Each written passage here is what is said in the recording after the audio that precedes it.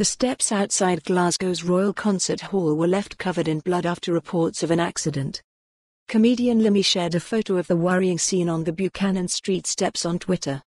He tweeted, Something happened outside the Royal Concert Hall, don't know what. But that's a lot of blood. Warning, graphic image below. Something happened outside the Royal Concert Hall, don't know what.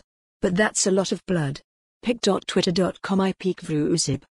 Police Scotland had no reports of an incident in the area. The Scots comedian later added on the social media platform, I saw the ambulance leave when I got here. Warning, graphic image below. Scottish Ambulance Service has been contacted for confirmation of the incident.